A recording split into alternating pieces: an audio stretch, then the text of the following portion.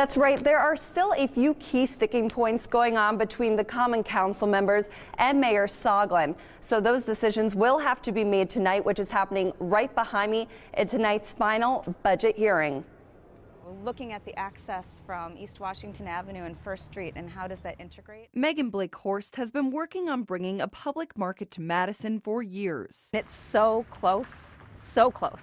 But the fate of that public market will be determined in tonight's meeting. To kill that would just, I think, really just emotionally and um, financially devastate many of our entrepreneurs. The market space is proposed for the corner of First and East Washington and Johnson Street. However, a group of alders have put forth two amendments that would either remove the market or cut off fundraising. Closing the door to the public market before it even has a chance. Tonight's meeting will determine the fate for multiple big projects. When they tell us they need a new station, a new facility, different training, different equipment. District 3 Alder Amanda Hall says the city is in desperate need of a police station on the west side of the city, as well as a fire station for the southeast side. We're absolutely going to take them seriously on that and give them all the support we possibly can. But Mayor Soglin wants to hold off on both of these projects. I am ready for it to be done. There really doesn't need to be as much contention as there is.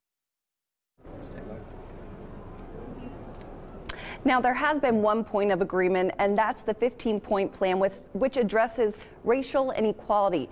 Now, that is expected to be included in the budget. Now, what's going on behind me right now is usually what happens if you don't get through all the amendments, they will meet tomorrow, but I've been told that an alder will be out of town tomorrow, so they're going to try to get through everything tonight, which could mean for a long night ahead.